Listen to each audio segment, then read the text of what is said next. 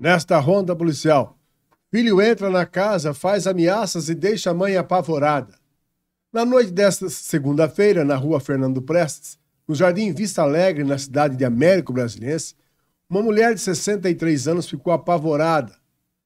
Seu filho, um homem de 32 anos, entrou na casa. Ao chegar no local, os policiais militares que haviam sido acionados via Copom constataram que o filho havia mesmo invadido o local e fazia ameaças de agressão à sua genitora. Observaram ainda que contra o filho havia uma medida protetiva não cumprida e deram voz de prisão. Ele foi apresentado em Araraquara ao delegado Marco Aurélio, que ratificou a voz de prisão por descumprimento de medida protetiva, ficando mesmo à disposição da Justiça.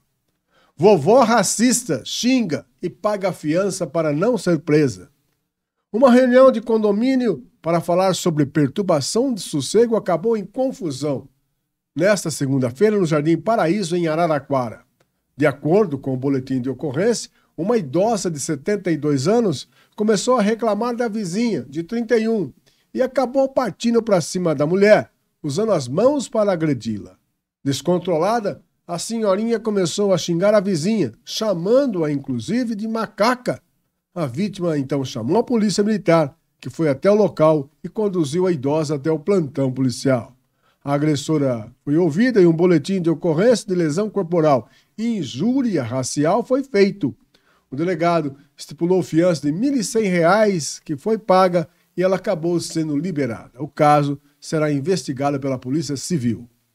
Tragédia na rodovia. Acidente entre carro e moto mata dois araraquarenses.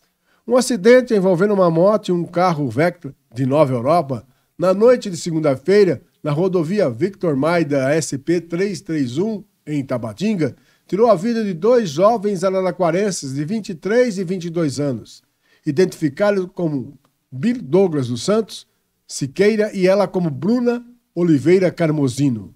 Segundo apurado, o casal trafegava de moto pela rodovia quando foi atingido por um carro que seguia na mesma direção.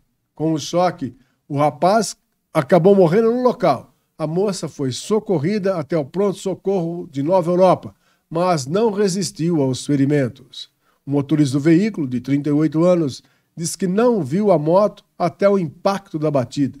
De acordo com a polícia rodoviária, o condutor do Vectra se recusou a fazer o teste do bafômetro, mas autorizou a coleta de sangue para exame clínico. O corpo das vítimas foi encaminhado ao IML de Araraquara. Esses foram os informes da Ronda Policial.